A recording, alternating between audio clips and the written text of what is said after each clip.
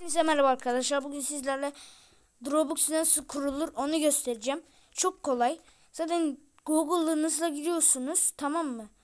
Mesela sync up yazıyor. Orada iki tane var. Onun en üsttekine tıklayacaksınız. Orada Google hesabıyla giriş yapın diyor. Oradan giriyorsunuz. Sonra size bir yazı geliyor. 30 gün ücretsiz diye. Ona tıklamanıza gerek yok şey olacak çünkü sizden para isteyecekler. Oraya tıklamanıza gerek yok. Mesela tıklamadınız. Bakın ben bir tane karakter yüklemek istiyorum. Bakın ee, nerede o?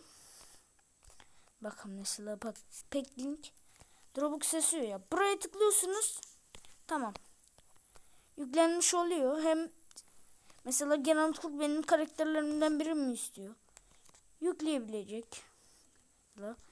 Her türlü olacak. Yani yüklenebilecek.